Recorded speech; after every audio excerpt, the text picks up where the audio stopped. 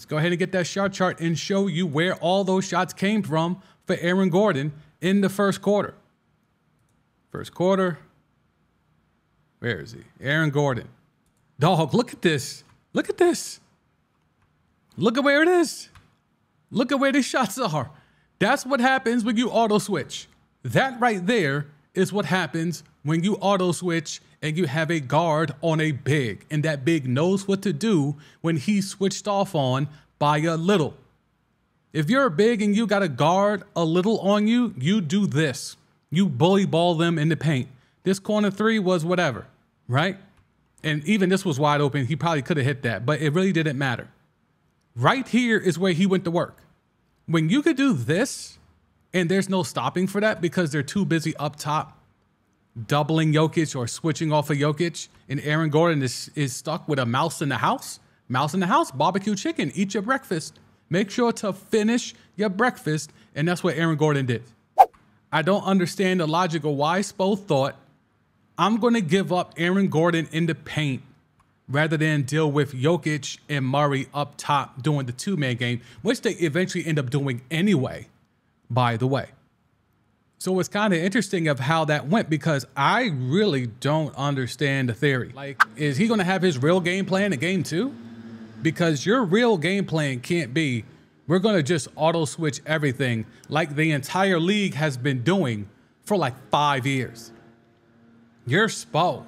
You're the one that withstood LeBron. LeBron wanted you out as a as a coach early in that Heat tenure when they were what eight and nine or seven and nine. They wanted Spo gone. LeBron went to the front office and said Spo gotta go, and the front office said nah. And you withstood that, and y'all won two chips in four years. And now you've been back to the finals two more times now since LeBron skated and went, went back to Cleveland. You have been held in high regard. You can't tell me the best scheme you had ready was we're going to auto switch. And if not, then we got a zone. And if you just look at this Denver Nuggets chart as a whole, you see where the bulk of the buckets are coming from. You see where the bulk of the bulk the buckets are coming from. Because again, the threes were not falling. You see it here. The threes were not falling. All these threes are bricks. This is Brick City. Shout out to Jers. But in regards to even the corner threes, easiest three in basketball, they keep saying, Brick City last night. But they got their money in the paint and with the middies. In the paint and with the middies. And look at all these middies that they missed. And all these buck and these, these shots in the paint that they missed as much as the Heat think, all right, well, our shooters, those shots are going to fall, to me, these shots are also going to start falling for the Denver Nuggets. And what happens then? You tried to do your little switching thing, it didn't work.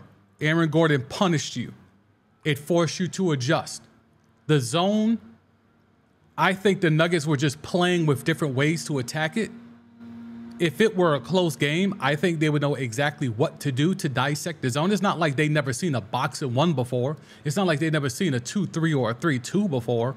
So I think they'll be ready for that in game two. They'll watch some film. They get a couple of days off to figure that out. But ultimately, dogs, you look at this right here and know that this is Jokic, this is Aaron Gordon, this is Jeff Green, this is, you know, all these guys, Bruce Brown getting floaters in the lane. Like, you ain't stopping this. This is not going to go away. This is not an admiration.